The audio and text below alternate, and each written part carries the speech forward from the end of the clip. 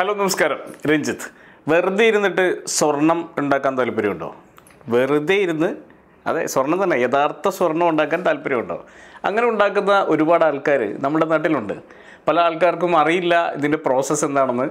അതുകൊണ്ട് തന്നെയാണ് പലരും ഈ ഒരു പരിപാടിക്ക് ഇറങ്ങാത്തത്. രസകരമായൊരു കാര്യം. സ്വർണം പാനിങ് എന്ന് പറയുന്ന പരിപാടിയാണ്. ദാറ്റ് ഈസ് ഗോൾഡ് പാനിങ് എന്താണ് ഗോൾഡ് പാനിങ് ഒരു പാൻ ഉപയോഗിച്ച് ഗോൾഡ് അരിച്ചെടുക്കുന്ന പരിപാടിയാണ് ഗോൾഡ് പാനിങ്. ഏറ്റവും കൂടുതലായിട്ട് നടക്കുന്നത് ചില നദികളിലാണ്. സോനാജാർ എന്ന് പറയുന്ന ഒരു കമ്മ്യൂണിറ്റി ഉണ്ട്. ഇന്ത്യയിലെ തന്നെ വളരെ പ്രശസ്തമായിട്ടുള്ള ഒരു കമ്മ്യൂണിറ്റിയാണ് ഈ സോനാജാർ എന്ന് പറയുന്ന കമ്മ്യൂണിറ്റി സോനാജാർ കമ്മ്യൂണിറ്റി പ്രധാനമായും ഒഡീഷയിലെ മഹാനദിയുമായി ബന്ധപ്പെട്ടാണ് പ്രവർത്തിക്കുന്നത്. മഹാനദിയിൽ നിന്ന് ഒഴുകി വരാൻ സാധ്യതയുള്ള സ്വർണത്തിന്റെ നിക്ഷേപം അവർ ചെളിയിൽ വെച്ചുകൊണ്ട് പാൻ ഒരു പാൻ എടുത്ത് ഒഴുകി വരുന്ന വെള്ളത്തിന് അക്രോസായിട്ട് ചെളിയിൽ പൂ പൂഴ്ത്തി വെച്ച് അതിനെ അരിച്ചെടുക്കുന്ന ഒരു പ്രക്രിയ. ഇത് സ്ഥിരമായി കാലഘട്ടങ്ങളായി അച്ഛനപ്പൂപ്പന്മാരായി ചെയ്തുകൊണ്ടിരിക്കുന്ന ഒരു വിഭാഗമാണ് ഈ സോനാജാർ കമ്മ്യൂണിറ്റി. സോനാജാർ കമ്മ്യൂണിറ്റി അപ്പോൾ പല ആളുകളും വിചാരിക്കുന്നുണ്ടാവും ഇവരിങ്ങനെ നാടോടികളെ പോലെ വലിയ ബുദ്ധിമുട്ടിൽ ജീവിക്കുന്ന ആളുകളാണെന്ന്. സ്വർണം വലിയ കോടീശ്വരന്മാരായ ആളുകളും ഈ കമ്മ്യൂണിറ്റിയിലുണ്ട് എന്നുള്ളതാണ് സത്യം. ഏകദേശം നാനൂറ് രൂപ മുതൽ ആയിരം രൂപ വരെയൊക്കെ ഒരു ദിവസം ഇവർക്ക് സമ്പാദിക്കാനും കഴിയുന്നുണ്ട്. ചെറിയ രീതിയിൽ സ്വർണം അരിച്ചുകൊണ്ട് അതായത് വേറെ ഒരു പരിപാടിയില്ല. കാലത്ത് പോകുന്നു.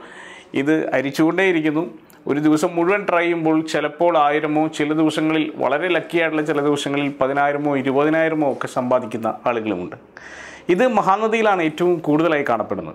മഹാനദിയിൽ മാത്രമല്ല ജാർഖണ്ഡ് അതായത് റാഞ്ചിയിൽ നിന്ന് തുടങ്ങി ജാർഖണ്ഡ് വെസ്റ്റ് ബംഗാൾ തുടങ്ങിയ സ്റ്റേറ്റുകളിലൂടെയൊക്കെ ഒഴുകുന്ന സുവർണരേഖ എന്ന് പറയുന്ന നദിയുണ്ട്. സുവർണരേഖ എന്ന് പറയുന്ന നദിക്ക് ആ പേര് കിട്ടുന്നത് തന്നെ അതിലൂടെ സ്വർണം ഒഴുകുന്നുണ്ട് എന്നുള്ള വിശ്വാസത്തിലാണ്. അവിടെയും ആളുകൾ ഇത് അരിച്ചെടുക്കുന്നതായിട്ട് സ്ഥിരമായി കാണുന്നുണ്ട്. ചുരുക്കി പറഞ്ഞാൽ മഹാനദിയുടെ തടങ്ങളിലും സുവർണരേഖയുടെ തടങ്ങളിലും ഇത്തരത്തിൽ സ്വർണം അരിക്കുന്ന ഒരുപാട് ആളുകളുണ്ട്.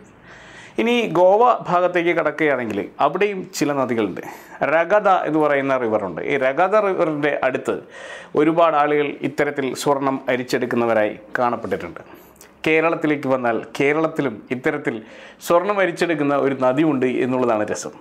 കേരളത്തിലെ ചാലിയാർ പുഴയാണ് ഇത്തരത്തിൽ സ്വർണം ഒഴുക്കുന്ന നദി. അപ്പോൾ ലോകത്തിന്റെ പല ഭാഗങ്ങളിലായി സ്വർണം ഒഴുക്കുന്ന നദികളുണ്ട്. ഇതിന് പ്രധാനപ്പെട്ട കാരണം പലപ്പോഴും സ്വർണ നിക്ഷേപങ്ങളുള്ള സ്ഥലത്തുകൂടെ നദികൾ ഒഴുകുമ്പോൾ അല്ലെങ്കിൽ സ്വർണ ഖനികളായിരുന്ന സ്ഥലങ്ങളിലൂടെ നദികൾ ഒഴുകുമ്പോഴൊക്കെയാണ് ഈ സ്വർണ നിക്ഷേപങ്ങളും ഖനികളിലുണ്ടായിരുന്ന ഈ പാർട്ടിക്കിൾസുമെല്ലാം വെള്ളത്തിലൂടെ ഒഴുകി വന്ന് ചെളിയിലടിയുന്നത്. ഇത് ഒരു പാനിങ് എന്ന് പറയുന്ന പ്രക്രിയയിലൂടെ സ്പെസിഫിക് ഗ്രാവിറ്റി ഉപയോഗിച്ചുകൊണ്ട് അരിച്ചെടുക്കുമ്പോൾ സ്വർണം മാത്രമായി ഏറ്റവും താഴെ അടിയുന്നതായിട്ടാണ് കാണപ്പെടുന്നത്. അപ്പോൾ നിങ്ങൾക്ക് വെറുതെ ഇരിക്കാനാണ് താല്പര്യം വെറുതെ ഇരുന്നു കൊണ്ട് സ്വർണം സമ്പാദിക്കാനാണ് താല്പര്യമെങ്കിൽ യാതൊരു സംശയം വേണ്ട നിങ്ങൾക്ക് ഗോൾഡ് പാനിങ് ചെയ്യാം. ഈ- പറഞ്ഞ നദികളിലോ അതല്ലാതെ ഇന്ത്യയിൽ ഒട്ടാകെ പല സ്ഥലങ്ങളിൽ ഇത്തരത്തിലുള്ള പലതരത്തിലുള്ള നദികളുണ്ട്. ഇതിൽ ഏതെങ്കിലും നദികളിലോ പോയി സ്വർണം മരിക്കാം പക്ഷേ ഇതൊട്ടും എളുപ്പമുള്ള പ്രക്രിയയല്ല അതിശക്തമായിട്ടുള്ള ക്ഷമ ആവശ്യമാണ്. പല ദിവസങ്ങളിലും ഒന്നും ലഭിച്ചെന്ന് വരില്ല.